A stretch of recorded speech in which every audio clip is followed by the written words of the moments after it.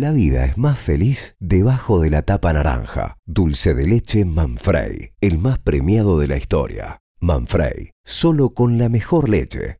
Segundo bloque de Mundo Agro y como habíamos prometido nos asomamos a las principales cotizaciones que el remate de referencia para el norte provincial realizó Consignaciones Córdoba Sociedad Anónima como es habitual en la apertura de la semana en la Sociedad Rural de Jesús María. Un mercado de referencia que le ha permitido a muchos productores del norte provincial seguir apostando por distintos remates y en este caso con muy buenas cotizaciones. Las comenta Eduardo Pérez de Consignaciones Córdoba Sociedad Anónima.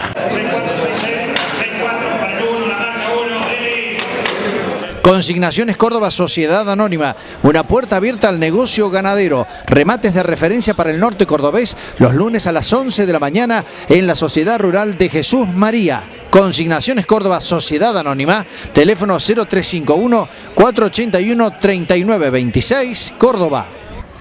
Eduardo Pérez, ¿qué resultado ha arrojado el remate en el día de hoy?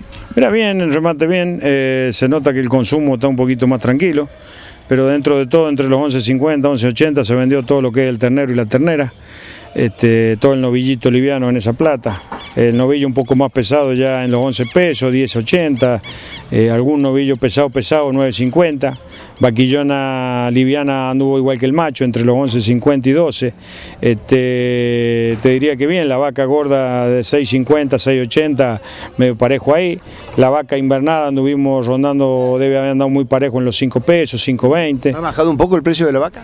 La vaca está un poquito más tranquila porque está media trancada la salida de vaca, este, está un poquito más tranquila. Pero una cuestión estacional, ¿no? Yo creo, esperemos que sea estacional, ¿no? Eh, vamos a ver qué pasa con el tema de la exportación de vaca. Eh, pero bueno, todo lo que es invernada, el ternero de invernada que tuvimos, un ternero muy bueno de 180 kilos, 190 kilos, se pagó 12.20.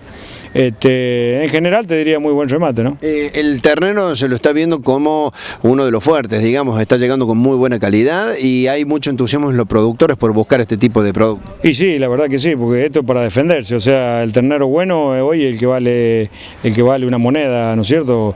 Eh, está buscado, esa mercadería está buscada. Yo calculo que se tiene que mantener, ¿no? Bien, sabemos que tiene remates muy importantes con un importante lote de cabezas en Chepes. Sí, Chepes damos jueves, ahora el jueves este tenemos unas 800 cabezas anotadas, este, va a haber mucho ternero, casi todo en su mayoría ternero, que es lo que está saliendo, y bueno, y aprovechamos para invitar a todos los amigos para el jueves.